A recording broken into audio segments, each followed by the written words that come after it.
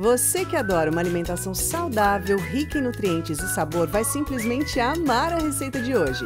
Mas antes, já se inscreve aqui no canal e ative o sininho para ser avisado sempre que tiver receitinha nova por aqui.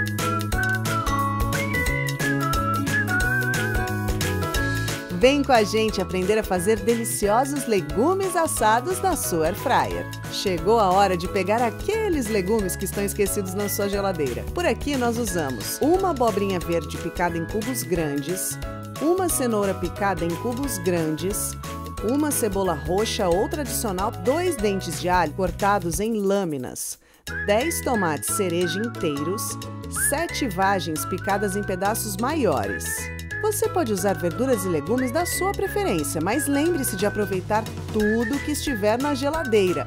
Nada de desperdícios, hein? A nossa sugestão de temperos é uma colher de sopa de chimichurri, uma colher de sopa de páprica defumada, pimenta do reino a gosto, sal e azeite a gosto. Pode confiar, viu? Vai ficar muito saboroso. Misture muito bem todos os legumes com os temperos. Ah, não esqueça de pré-aquecer a sua air fryer a 200 graus por pelo menos 5 minutos, ok? Transfira os ingredientes para o cesto da air fryer e leve para assar por 10 minutinhos. Passado esse tempo, vire os legumes e deixe por mais 10 minutos. Olha isso, é de comer com os olhos!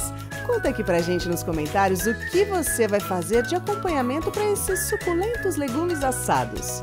Hum, um arroz cristal soltinho cairia muito bem, hein? Até a próxima!